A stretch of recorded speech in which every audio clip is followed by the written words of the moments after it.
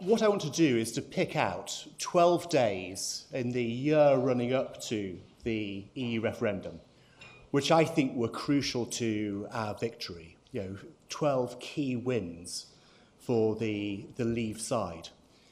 Now, the key point that I want to make is that all of these wins, all of these days in isolation, um, couldn't have been done without a lot of long-term planning building up to um, you know, that event. So the thing I want to really stress is that Vote Leave success and the Leave campaign success wasn't just grounded in a well-run campaign in the six months running up to the referendum, but also in terms of days, uh, years, indeed decades of activity running up to that.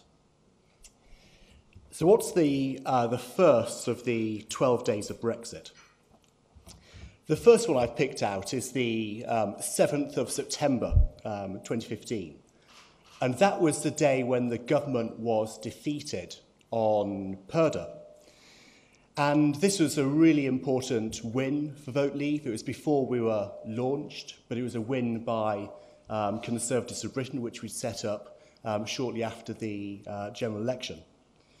Now, as most of you probably know, Purdah usually applies for um, about four weeks before any um, general election or referendum campaign.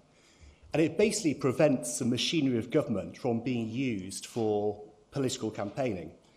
And this covers everything from um, promotional material, from leaflets and websites, right through to um, official um, government reports.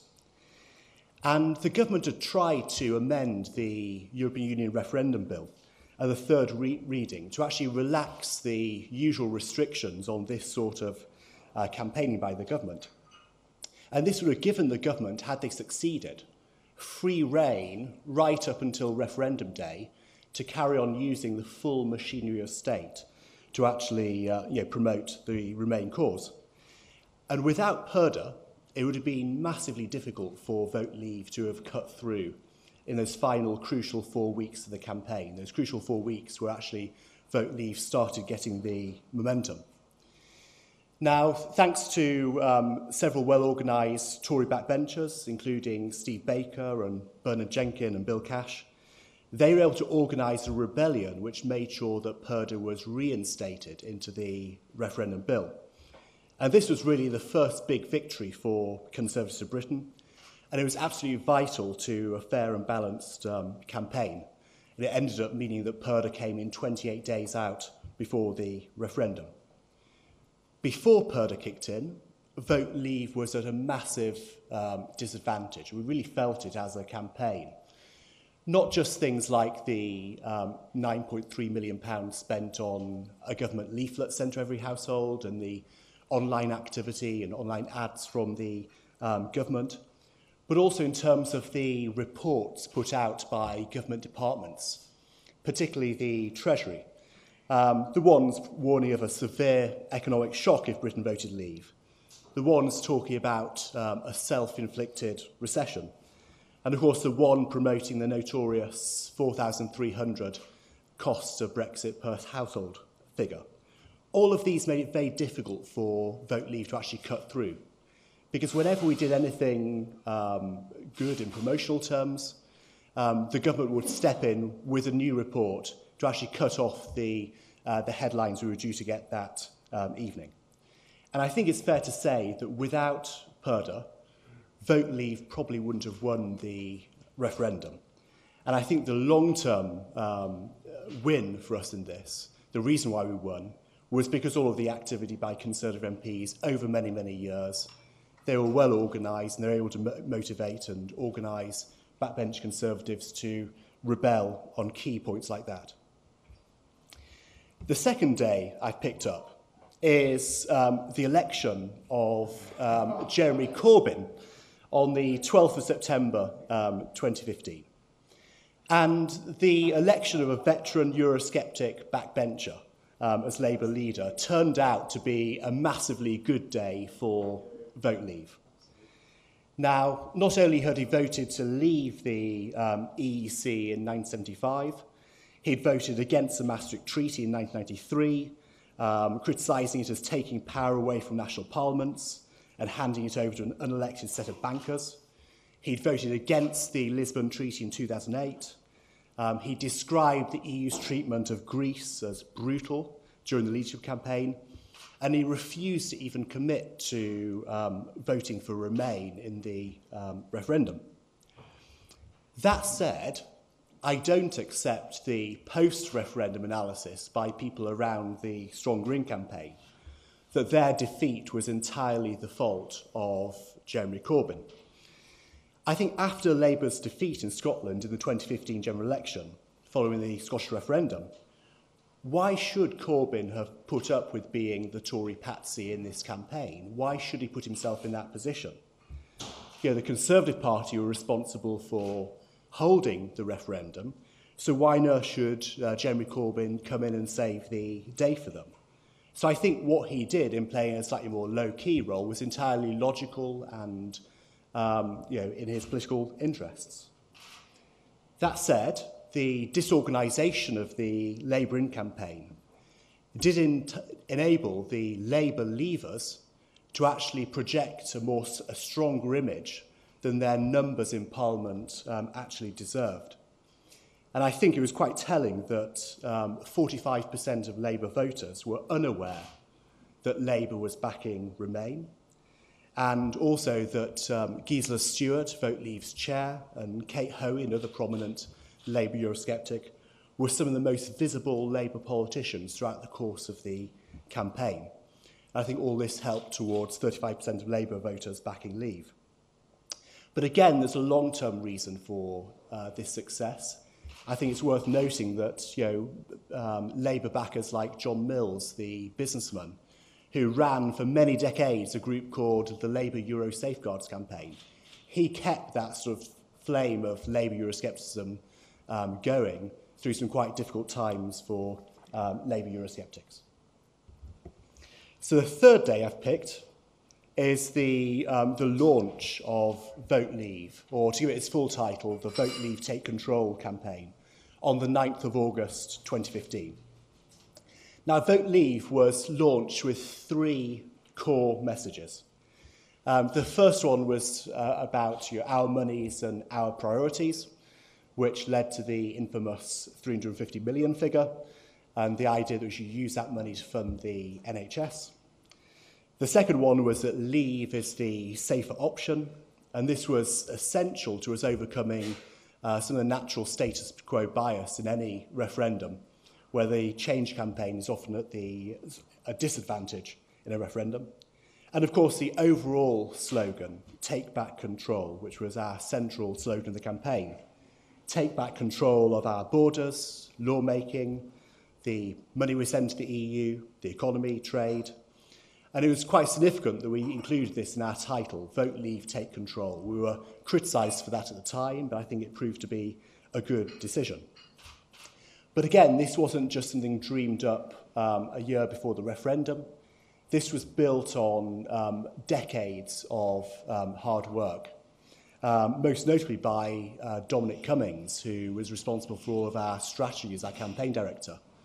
Um, he had done work for me at Business of Britain back in 2014 after the European elections to work out some of our strategy messaging for the referendum.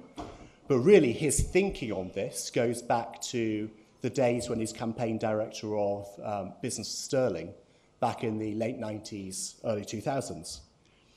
And also, there were two referendums worth of um, thought going into this as well. Um, Dominic's work on the Northeast Says No campaign against the Northeast Regional Assembly was an early incubator of the idea of um, looking at money in referendums with the slogan, politicians talk, we pay.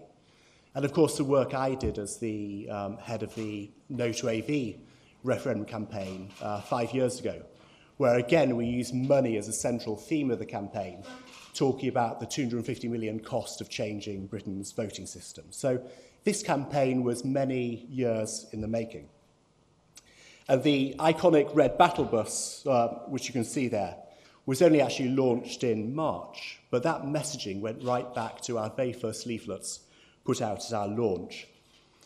And I think it's worth contrasting the consistency of Vote Leaves messaging with um, stronger ins messaging, where they, yes, they banged the drum on Project Fear time and time again, but they never really came up with a, um, uh, an accessible slogan to just describe their campaign. The fourth day I've picked out is the um, 9th of November, um, which was the day of the, um, the CBI um, protest. Now, the economy was always going to be the Remain campaign's uh, strong suit, and business leaders were always going to be their strongest messengers. So we needed to demonstrate on the Leave side that business was um, divided on this issue.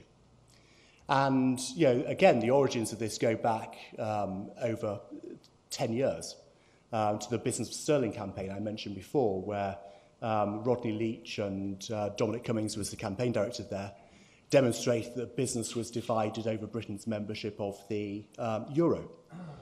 And I set up Business for Britain right after David Cameron's Bloomberg speech in January 2013 to demonstrate yet again that business was divided on the EU. And we built up um, a list of 1,500 uh, business leaders um, all formed into um, a regional network with regional chairmen who were capable of speaking in the media and speaking at um, events. And we did this because business leaders are, sorry, local business leaders are much more highly trusted than national business leaders. So when we were running events and debates in the course of the referendum campaign, and we used one of our local business chiefs, the chairman of the regional Business Britain campaign to be a spokesperson for us. They were a very effective, highly trusted um, advocate for our cause. And the reason we did this um, stunt was because we needed to demonstrate that the CBI isn't, as they claim to be, the voice of business. And we did this in several ways. First of all, we um, exposed the, the polling on which their, um, the figure they always trotted out, that 80% of businesses supported remaining in the EU. We exposed the fact that was based on, quotes, dodgy polling. Uh, that's not my word, it's not uh, Vote Leave's word, it's the word of the British Polling Council when they examined how that poll was done by YouGov for the CBI. I can see John Curtice shaking his head. Um, that was the word that uh, Nick Moon used in an email back to us. Uh, that was dodgy. So again, we were chipping away at uh, the credibility of that um, poll. And we also need to expose why they were saying, or reason why they were saying what they were about the EU. And the CBI has received a million pounds of EU funding since 2009, accounting for 20% of their income. So they were paid advocates for the cause, in our view. And it's notable that after exposing their polling, after the demonstration, they largely withdrew from the referendum debate. And this meant that we were using our advocates at a regional level, also unveiling some senior business leaders and entrepreneurs like Anthony Bamford and James Dyson and Tim Martin of Wetherspoons to actually make the leave case, really ramming home the point by the end of the campaign that business was divided on this issue. But again, it's worth noting that this success didn't happen overnight. You know, Lynton Crosby has a phrase, you can't fatten a pig on market day. And the success of this operation goes right back to the creation of Business of Britain in 2013. The next date is the 20th of February 2016. And this was the date when Cameron returned with nothing from, his, from Brussels, so nothing substantial to his uh, deal. And I actually think this was probably the biggest factor in um, our victory in the referendum. Uh, when you have a situation the following day when newspapers are running the headlines, is that it? And making the comparison with Neville Chamberlain, you know that it hasn't been a successful renegotiation. And even the Guardian, the FT, and the BBC um, suggested that the deal didn't amount to very much. Now, in returning with nothing, David Cameron fundamentally undermined his own position.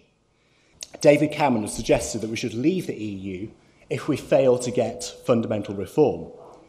And pri- prior to getting the deal, uh, David Cameron repeatedly said that he ruled nothing out implying that he could vote for leave, and also saying time and time again that, of course, Britain can survive outside the EU. So when he came back with no deal, and when he then committed himself to remain, and when he then campaigned so fervently for remain, making all these um, dire warnings about what would happen if we leave, there was a huge inconsistency in what he said during the campaign compared to what he said prior to the deal. And I think that went down extremely badly with voters. In contrast, I think um, on the, the leave side of things, we got the uh, messaging uh, much better.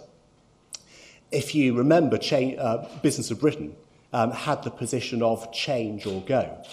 So we actually spend a lot of time talking about the different changes we would like to see to Britain's EU membership, but also making the case that if we don't get those changes, we'd be happy for Britain to leave the EU. We've went so far as to uh, publish a thousand-page magnum opus called Change or Go on the sort of changes that we needed and how Britain could survive outside the EU. So we were committed to this course of action. So when, the P, when it was clear the PM was going to come back with nothing, and we then changed our position to go, there was a consistency, there was a logical step in what we did, moving from uh, sort of mild Euroscepticism to saying we should leave.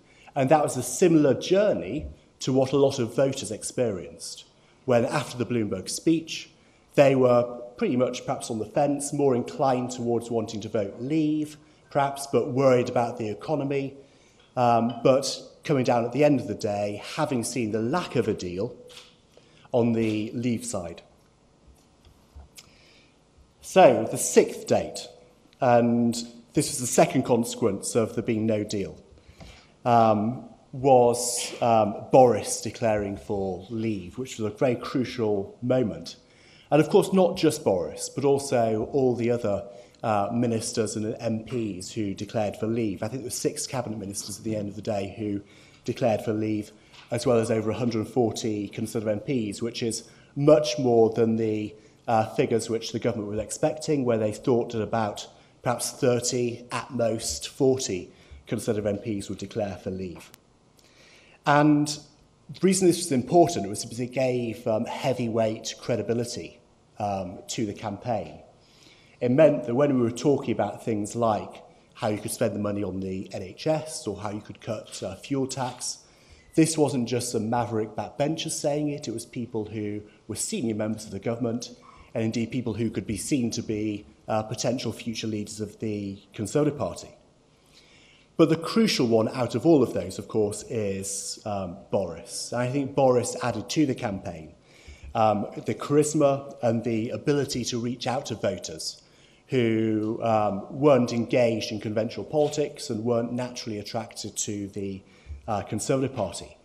And the combination of Boris working with Gisela Stuart, our Labour uh, chairman, I think worked particularly well in the campaign. And it's interesting, if you look at the polling, uh, Boris was trusted to tell the truth by over twice as many voters as Cameron, 45% to 21%, and the Leave campaign was more trusted in general by 39% to 24%, their Comres figures. So what it meant was that Vote Leave then had the right messengers delivering the, the right message to win the referendum. And they worked well together as a team, something you saw particularly during the TV debates, which you had a very united and strong Vote Leave campaign team um, on the debates, compared to a very divided Remain team, where you had bickering between Angela Eagle and Nicola Sturgeon during the course of the debate, which didn't come across well on uh, TV. But again, I think it's worth pointing out that the uh, key ministers who came out for leave weren't sort of Johnny come latelys to this debate. Boris, of course, had been writing his influential Telegraph column over many um, decades, which had a huge impact, I think. Um, Gisela became a Eurosceptic following the, um, her experience of the European Convention that led to the European Constitution the Lisbon Treaty. And of course, Michael Gove was the first person back in 2014, the first senior cabinet minister, to say that he would vote leave were there not to be serious uh, reform. But all this amounted to the fact that, what hap- that the campaign this year wasn't like the campaign back in 1975, which of course was characterised as being um, uh, an Enoch Powell, Michael Foot uh, campaign um, dominated by extremists. But of course, we should remember that it could well have been like that. And this is why the um, designation was so important. And the 13th of April was the day when Vote Leave got the designation rather than um, Grassroots Out or Leave.eu or the UKIP based um, campaign. Now, thinking back to 1975, um, there's a famous cartoon that sums up the Leave campaign in 75. And it has um, a rabble of people marching together under the banner um, Get Britain Out. And it includes people with flags saying Trotskyites and uh, National Front supporters, all headed up by you know, Powell, Michael Gove, Tony Benn. And the slogan underneath is Join the Professionals. So as a campaign, we did, needed to look um, more pro- professional and have people of higher standing than back in 1975. I think we achieved that at Vote Leave. And we wouldn't have achieved that had we been one united campaign. I think the UKIP probably has a ceiling of about 30% support in the electorate. That's roughly what it got, I think, in the 20, 2014 European elections. And one crucial fact about the swing voters in this referendum was that they didn't want to feel they were voting UKIP by voting Leave. And that's why it was essential that Vote Leave was a non-UKIP based campaign. And this strategy went right back to Business for Britain, where we didn't have any um, UKIP people associated with the campaign. We always kept as a non-UKIP and really non-political, uh, party political based uh, campaign. As a consequence of having um, the separate Vote Leave campaign and not being one amalgamated campaign, and people were saying time and time again that we should join up and be one campaign, we were able to build a much broader based coalition than we otherwise would have been able to. And I'm thinking of some of the groups that we set up during the course of the referendum, groups like um, Out and Proud, uh, Students for Britain, Liberal Leave, Green Leaves, and the many sort of for Britain groups inspired by Business for Britain, Women for Britain, Muslims for Britain, Lawyers for Britain, Veterans for Britain, even Vapers for Britain. And had we had just one campaign, a lot of these disparate groups wouldn't have joined in. But they felt comfortable in being part of a non UKIP based, more mainstream uh, campaign. And I think our decision not to join up uh, with UKIP has been vindicated by the final result. The next day, the 22nd of April, um, this was the day of Obama's uh, ill-judged intervention in the debate. Now, when David Cameron didn't get the bounce he, he expected when he came back with his deal, he was expected to get a, a bounce of between 10 or 15 points, but of course he didn't get that bounce. He was hoping to get a bounce when um, Obama um, entered the fray, um, but it didn't happen. Uh, in the event, it turned out to be um, a win not for the Remain side, but a win for the Leave side. And Obama, on his trip, of course, said the fateful words that Britain would be sent to the back of the queue uh, for a trade deal with the US, uh, were we to vote for Leave.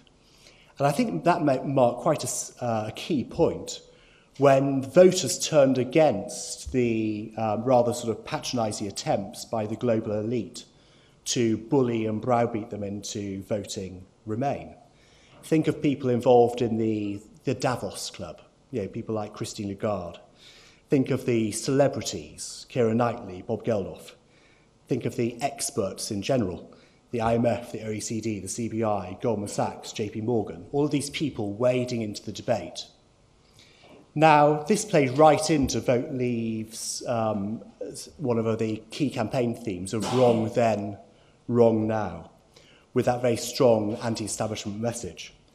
And one thing we said time and time again was that the very people who were saying it would be terrible if we left the EU were the same people who were saying it would be terrible if we didn't join the euro. And we said they were wrong then, wrong now. They're wrong about Britain's membership of the euro, and they're now wrong about the case about leave. And I think it's um, worth pointing out that, of course, a lot of Project Fear hasn't come to pass. I think we've been proved right on that. But back to Obama. Um, I think it's quite telling that the week afterwards, um, showed an uptick in support for leave. So I think actually the intervention of um, global leaders like Obama and experts generally actually moved things in our favour. So it played into the anti-establishment nature of our campaign. Migration. Um, so the 12th of May um, was the day when the ONS um, published their uh, figures on the number of national insurance numbers given out to EU migrants. And uh, they published the fact that I think it was 2.25 million national insurance numbers were given out over the previous five years, despite there being only 1 million uh, migrants in the official migration figures. And this was a key point in the campaign with lots of um, newspaper coverage. Now, for the Remain campaign, they should always have known that migration was going to be their weak flank, just like the economy was always going to be the weak flank for the Leave campaign. But despite this, they had no answers um, on the subject of migration, with Cameron sticking with his um, soundbite that he wanted to reduce migration to the tens of um, thousands, despite net migration being uh, roughly 300,000 a year. And the message of Vote Leave, of taking back control of our borders, I think really resonated with the public, um, who were frankly sick and tired of the uncontrolled migration from the EU. And this factor really goes back to 2004, of course, the year when you had the um, expansion of the EU to include some of the East European um, member states. And it's from that point when Tony Blair predicted that only a few, um, a few thousand people would come, come to the UK, um, that people felt a growing resentment of the very high levels of migration from other um, EU uh, member states. And this was not only a question of the migration, it was also a question of being lied to um, by politicians. So this, of course, was the key part in the referendum. The key challenge I put out to people on the Remain side is why didn't they anticipate this? You know, we anticipated that the economy would be our weak flank. We prepared for that. I didn't see any real effort by people on the Remain side to anticipate that their weak flank in the referendum would be migration and to do anything to mitigate people's fears in this area.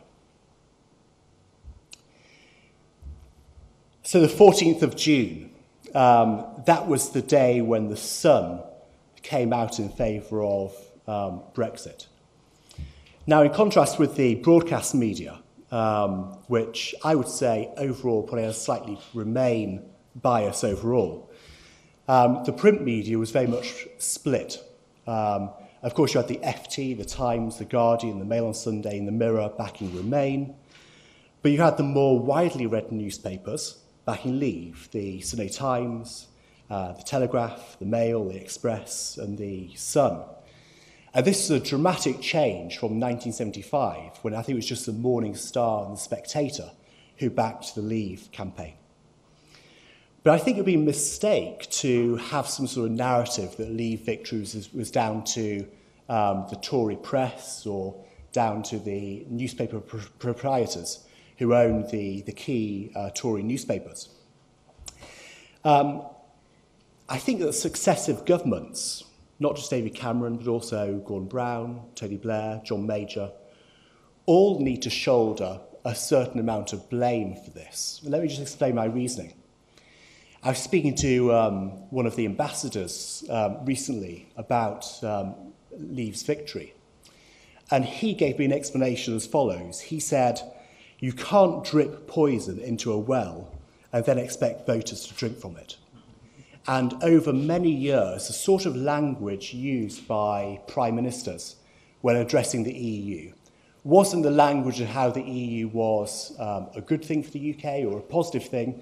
It was language about how they were going to go into battle, um, how they were going to block new measures, how they were winning crucial victories over the EU. So this is a very adversarial form of language when addressing the EU. So you can't expect your narrative one day to be very adversarial and then expect people to vote to remain in the EU uh, the next day. All successful com strategies aren't just executed over a matter of months, they're executed over a matter of years. The next day, um, the 15th of June, this was the day of um, George Osborne's um, punishment budget, which was frankly sort of left in um, tatters. And this was really the peak of um, Project Fear. It was about a week out from the um, referendum. This is when he threatened to hike taxes and slash benefits if the UK voted leave. Now, we got wind of the announcement about uh, 24 hours beforehand.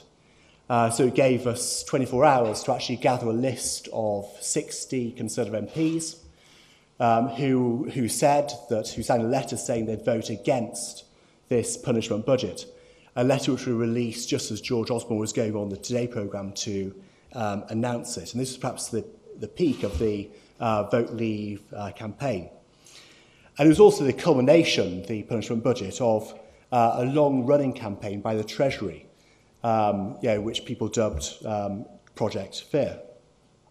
And I think Project Fear was really actually undermined by the um, hysterical nature of some of the warnings, which frankly sort of flew in the face of um, voters or more common sense on these issues. Uh, voters found the key vote leave messages, about 350 million, much more credible than the key Treasury messages about how leaving the EU would cost each household £4,300. And also found the Leave campaign to be much more positive than the Remain campaign was. So I don't think Project Fear helped in this situation. And I think basically the strategy, of course, the Remain campaign went back to the Scottish referendum when um, Andrew Cooper, who was a strategist for the Remain campaign, was also the strategist for the um, pro-unionist, the Better Together campaign in Scotland. And of course, they'd had a Project Fear in the Scottish referendum. And they interpret that as being a great success because they won that referendum. But actually, as a campaigner, in some ways, you could say that Alex Salmond won the Scottish referendum in the sense that he went up from 25% support to 45% support on the day. So the momentum was with him. So I think the misinterpretation of Scotland led to a crucial strategic mistake when it came to the EU referendum.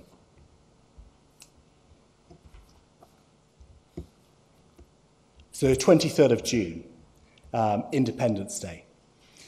Um, despite going into referendum day uh, roughly 5% behind in the polls, Leave managed to win by 4%. Now, we were always confident that we were going to um, outperform the polling expectations for a number of reasons. Um, the first one was that um, Leave voters were more likely to turn out than Remain voters. Um, they're much more enthusiastic about um, voting Leave. And in our turnout models, rather than asking people their likely to vote, we asked them um, how enthusiastic they were about the um, referendum. So we always thought that our guys more likely to turn out. I also think that we had a better organised um, ground campaign.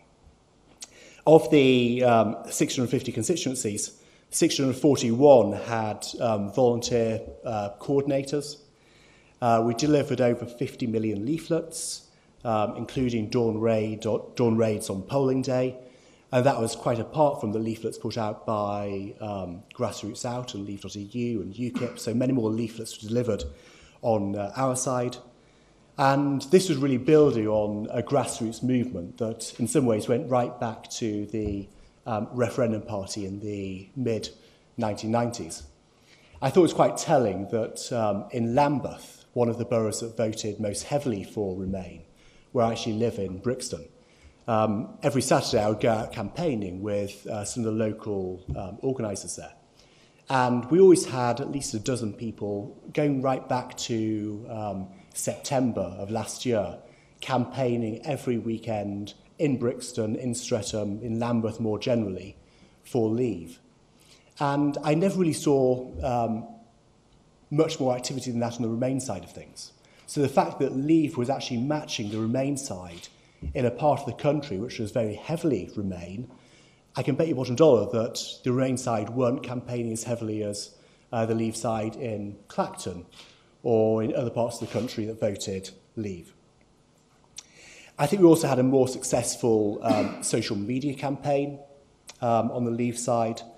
um, both what we did at Vote Leave and also what was done more generally on the Leave side, which much, much higher engagement rates with our material online, much more um, sharing going on, much more retweeting going on, which is surprising in a sense given the social demographic of people who use um, social media. So that suggests we're actually winning on the uh, social media front.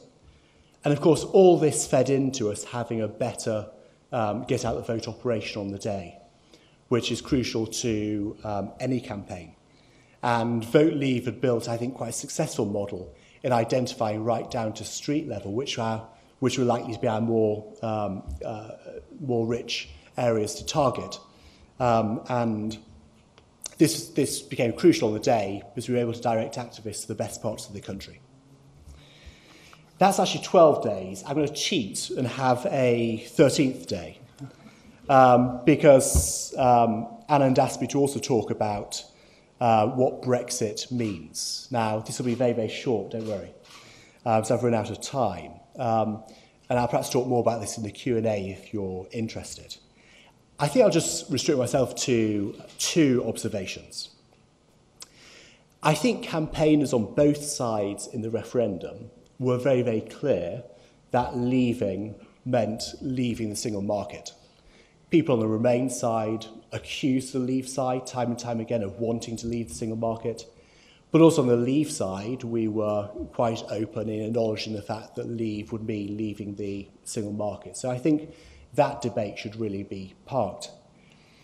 I think the second observation would be that in setting up a department for international trade, I think it's really only meaningful if Britain actually leaves the customs union. So when people say, what does Brexit mean? Um, to me, those two factors point quite clearly to being, a, to being my words, a, a clean Brexit. So the idea we're going to go down some sort of Norway-style um, option, um, I think, is for the birds. In conclusion, um, You'll all be familiar with the phrase that victory has a hundred fathers and defeat is an orphan. And I think this is certainly the case in the um, referendum, in the EU referendum. And each of the dates I picked was a key win for the Leave campaign. But I hope I've been able to demonstrate that each of those days was actually grounded in campaigning over many years, if not um, decades of activity. And I think much of the analysis of the referendum uh, put out uh, immediately after has really just focused on the short-term referendum campaign itself, the short campaign, if you like. And I think any serious analysis, perhaps by any budding PhD students in the room, needs to actually really look at all of these long-term factors that led to Britain leaving the EU on the 23rd of June. Thank you very much.